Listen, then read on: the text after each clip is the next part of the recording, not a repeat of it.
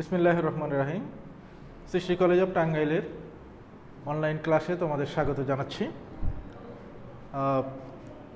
গণিত দ্বিতীয় পত্রের সিক্স বি কোনো বইয়ে সিক্স পয়েন্ট টু এরকম লেখা আছে, উপবৃত্ত। এই বিষয়ে গত ক্লাসে আমি এর ফর্মুলাগুলো সম্বন্ধে একটু ধারণা দিয়েছি তোমাদের। আশা করি ফর্মুলাগুলো দেখেছ। ফর্মুলাগুলো আয়ত্ত করতে পারলেই কিন্তু ফিফটি পার্সেন্ট একটা চ্যাপ্টারের ফিফটি পার্সেন্ট কন্ট্রোল হয়ে যায়। তারপরে শুধু ওই, এই ফর্মুলাগুলোর প্রয়োগটা। তো আমি আজকে দু একটা অঙ্ক দেখাই তোমাদের, যেগুলো আমরা কীভাবে প্রয়োগ করব। তো আমি একটা রাশি লিখি, এরকম দেখো।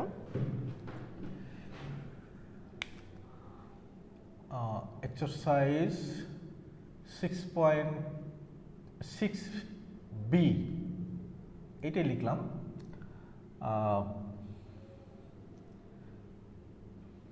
উচ্চতর গণিত দ্বিতীয় পত্র। উচ্চতর গণিত দ্বিতীয় পত্র এক্সারসাইজ সিক্স বি তো একটা সমস্যা আমরা লিখছি, সমস্যা হচ্ছে nine X square nine X square plus sixteen Y square equal to one forty four এরকম এইটার যে এখান থেকে যে তথ্যগুলো বের করা দরকার, সেই তথ্যগুলো আমরা বের করব। আমি তোমাদের ফর্মুলা যে ফর্মুলাতে আমি যা যা বের করতে বলছিলাম, যে একটা উপবৃত্ত থেকে আমরা মূলত যে জিনিসগুলো বের করি বা যেগুলো চেয়ে বসে সেগুলো হলো উপকেন্দ্র, বৃহদাক্ষ, ক্ষুদ্রাক্ষ মানে এগুলো বৃহদাক্ষের দৈর্ঘ্য বা ক্ষুদ্রাক্ষের দৈর্ঘ্য। উপকেন্দ্রিক লম্বের দৈর্ঘ্য, উপকেন্দ্রিক লম্বের সমীকরণ, নিয়ামক রেখা বা দিকাক্ষের সমীকরণ এইগুলো তো আমরা এই, এইগুলো আমরা বের করব। তবে কীভাবে সেটা দেখো? যে আমাদের যদি এই আকারের কোনো সমীকরণ থাকে সেই ক্ষেত্রে আমরা এটাকে স্ট্যান্ডার্ড ফর্ম করে নেওয়ার চেষ্টা করব। নিয়মটা হচ্ছে যে এইরকম যদি থাকে তাহলে ডান পাশে যেহেতু আমাদের স্ট্যান্ডার্ড ফর্মে এক্স স্কোয়ার বাই স্কোয়ার আমাদের স্ট্যান্ডার্ড ফর্ম আমি বলেছিলাম সেদিন এটা হলো আদর্শ সমীকরণ উপবৃত্তের আদর্শ সমীকরণ। এই ফর্ম যদি আমি করতে চাই তাহলে আমাকে ডান পাশে যে সংখ্যাটা আছে সেই সংখ্যাটা দিয়েই ভাগ করতে হবে। তো আমরা যদি ভাগ করে ফেলি তাহলে এইরকম হবে। একশো চুয়াল্লিশ দিয়ে ভাগ করলে যেহেতু ওয়ান বানাতে হবে, একশো চুয়াল্লিশ দিয়ে ভাগ করতে হবে। নিচে একশো চুয়াল্লিশ দিলে আমাদের কেটে ষোলো হয়ে যাবে। আর এখানেও যদি ভাগ করে দিই, তাহলে এখানে নাইন হবে ইকুয়াল টু ওয়ান এরকম আমরা একটা নাম্বারিং করে রাখি। আর যদি এই আকারের থাকে, তাহলে আমাদের এখান থেকেই শুরু করতে হবে। এটা নাম্বার দিয়ে দেব।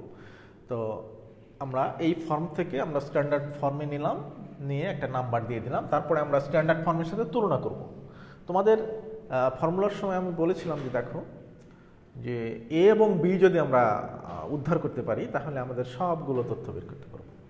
এখন এক নম্বর সমীকরণকে, এক নম্বর সমীকরণকে X square by A square plus Y square by B square equal to ওয়ানের সাথে তুলনা করি। সাথে তুলনা করি। তুলনা করি। তুলনা করি। তো তুলনা করার নিয়ম হলো যেগুলো মিলে গেছে, সেগুলো তো মিলেই গেছে। যেটুকু মিল নেই সেইটা সমান। অর্থাৎ এ স্কোয়ার সমান হচ্ছে সিক্সটিন এ এর মান হচ্ছে ফাইভ আমরা প্লাস মাইনাস ফাইভ কিন্তু এখানে লিখব না, যেহেতু এটা এ হলো দৈর্ঘ্য। তোমাদের যখন আমি ফর্মুলাটা দেখাই, তখন বলেছিলাম যে এ কতটুকু কতটুকু দৈর্ঘ্য, সেটা আমি বলেছিলাম। তো এ হচ্ছে ফাইভ এখানে, আর সরি ফোর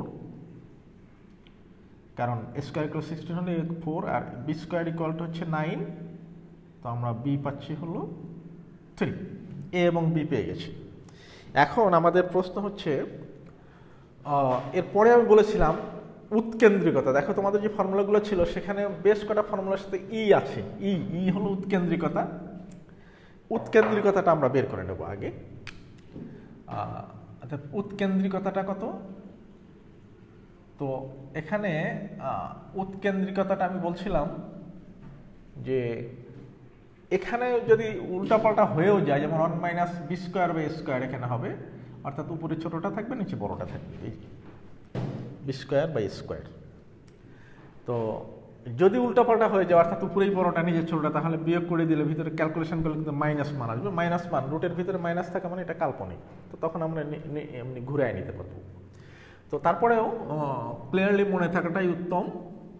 তো এখানে আমরা পাচ্ছি one minus nine by sixteen তো ষোলো থেকে নয় গেলে seven root seven by four এইটা হচ্ছে আমাদের উৎকেন্দ্রিকতা। আমি এর আগে দেখো উৎকেন্দ্রিকতার কথা বলেছিলাম, যেটা যেহেতু দুটো দৈর্ঘ্যের অনুপাত, সুতরাং এটা সবসময় ধনাত্মক হবে। তো এখানেও কিন্তু প্লাস মাইনাস দেওয়া যাবে না। উৎকেন্দ্রিকতা আমরা পেয়ে গেলাম। তো এবারে আমরা একে একে সেই তথ্যগুলো বের করি। প্রথমে বৃহদাক্ষ।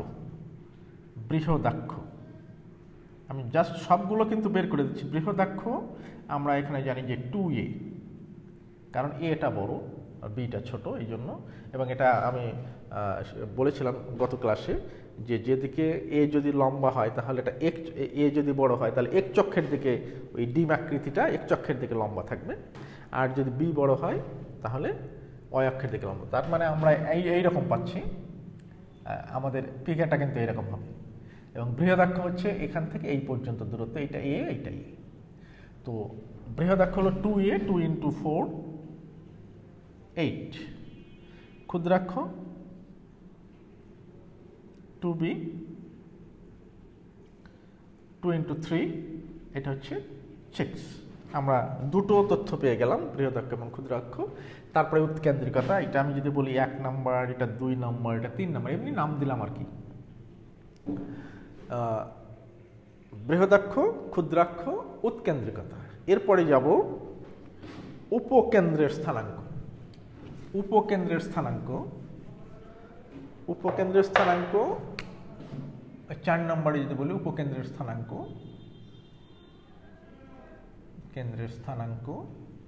তোমরা জানো এরকম ছিল, প্লাস মাইনাস এই জিরো। যেহেতু এটা এক চক্ষের থেকে লম্বা, সুতরাং বৃহদাক্ষ থাকবে এক চক্ষের উপরে। প্লাস মাইনাস এ হচ্ছে ফোর এখানে root seven by four zero তাতে আমরা পাবো plus minus root seven zero এটা হচ্ছে আমাদের আর একটা তথ্য। এটা হলো উপকেন্দ্রের স্থানাঙ্ক। উপকেন্দ্রিক লম্বের দৈর্ঘ্য। আচ্ছা উপকেন্দ্রিক লম্বের দৈর্ঘ্য বা পাঁচ নম্বর, উপকেন্দ্রিক লম্বের সমীকরণ। উপকেন্দ্রিক লম্বের সমীকরণ। এটা কিন্তু অয়াক্ষের সমান্তরাল অয়াক্ষের সমান্তরাল হলে তখন অয় বল যখনই বলি তখন আমি বলেছিলাম। এরা আগে যখন সরলেখা আলোচনা করি, যখনই অয়ের কথা বলা হয়, তখনই এক্স চলে আসে। এক্স ইকুয়াল টু কত দূরে? প্লাস মাইনাস এ দূরে। তো প্লাস মাইনাস এ হচ্ছে ফোর ই হচ্ছে রুট সেভেন বাই ফোর তাতে আমরা প্লাস মাইনাস রুট সেভেন পাচ্ছি। এটা হচ্ছে আমাদের উপকেন্দ্রিক লম্বের সমীকরণ। ছয় নম্বরে আমরা বের করতে পারি উপকেন্দ্রিক লম্বের দৈর্ঘ্য, উপকেন্দ্রিক লম্বের দৈর্ঘ্য লম্বের দৈর্ঘ্য।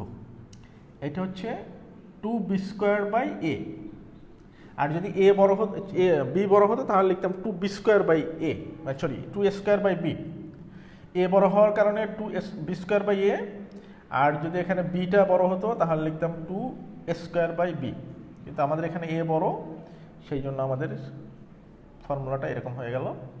এটা আমরা আলা, আগের ক্লাসে আলোচনা করেছিলাম বি স্কোয়ার হলো নাইন আর এ হচ্ছে ফোর তো আমরা যদি একটু কেটে দেই, তো নাইন বাই টু এটা হচ্ছে উপকেন্দ্রিক লম্বের দৈর্ঘ্য।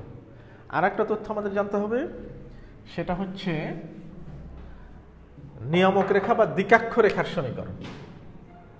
এটা হচ্ছে সাত নম্বর। নিয়ামক রেখার নিয়ামক রেখা বা দ্বিকাক্ষ রেখার সমীকরণ, দ্বিকাক্ষ রেখার সমীকরণ। রেখার সমীকরণ, এটাও কিন্তু অক্ষের সমান্তরাল। এই জন্য আমরা লিখব এক্স ইকুয়াল টু দূরত্ব হচ্ছে plus minus A by E আমরা এ জানি ফোর ই হচ্ছে রুট সেভেন বাই ফোর তাতে আমাদের উল্টে গেলে উল্টে গেলে